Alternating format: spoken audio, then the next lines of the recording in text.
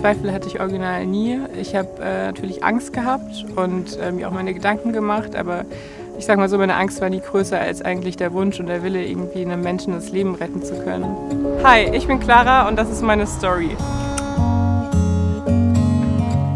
Ich bin 23 Jahre alt. Ich komme ursprünglich aus Südhessen, wohne jetzt aber seit knapp zwei Jahren in Berlin und studiere hier die Fächer äh, Germanistische Linguistik und Europäische Ethnologie an der Humboldt-Uni. Am liebsten verbringe ich meine Freizeit mit meinen Freunden oder mit äh, meiner Schwester, die jetzt frisch hergezogen ist. Und ich bin jetzt seit neuestem wieder meinem ältesten Hobby nachgegangen und spiele wieder Tennis.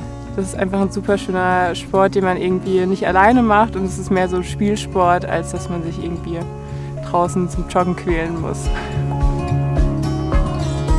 Ich glaube, ich wusste schon immer von der DKMS. Äh, meine Eltern waren beide registriert, eigentlich seit ich mich erinnern kann.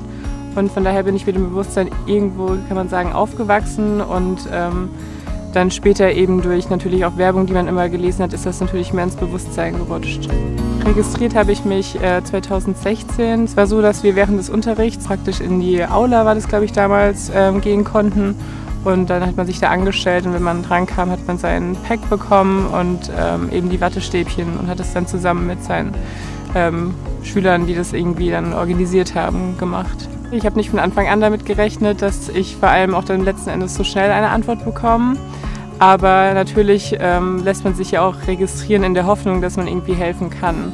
Ich glaube, es war irgendwie so ein bisschen Euphorie einfach, weil ähm, ja, man einfach niemals damit gerechnet hat, dass es so schnell passiert. Es war, glaube ich, ein halbes Jahr, nachdem ich mich registriert habe. Und ähm, ja, ich weiß noch, dass mein Papa nur neben mir stand und auch total ähm, irgendwie mithören wollte und es auch gar nicht irgendwie glauben konnte, dass es dann soweit ist. Dann habe ich erstmal dieses ähm, Blutentnahmeset zugeschickt bekommen, bin damit zu meinem Hausarzt gegangen, wo mir Blut abgenommen wurde und das Ganze nochmal überprüft wurde, ob ich wirklich so gut zu meinem Patienten passe.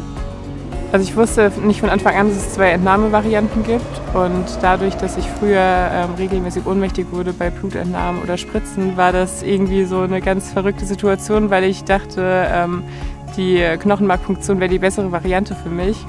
Und ich wusste aber nicht, dass man sich das eigentlich nicht aussuchen kann und hatte dann aber letzten Endes irgendwo das Glück, dass es bei mir möglich war, ähm, weil es ja eben eigentlich abhängig ist davon, wie es dem ähm, Patienten geht und was er braucht.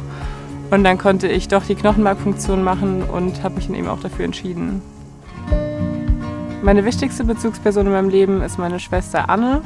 Wir haben schon super viel zusammen durchgemacht, aber auch total viel Tolles erlebt und waren immer füreinander da und es gab es immer im Doppelpack. Sie ähm, unterstützt mich immer und ist immer eine Schulter, an die ich mich anlehnen kann und die ich immer zählen kann.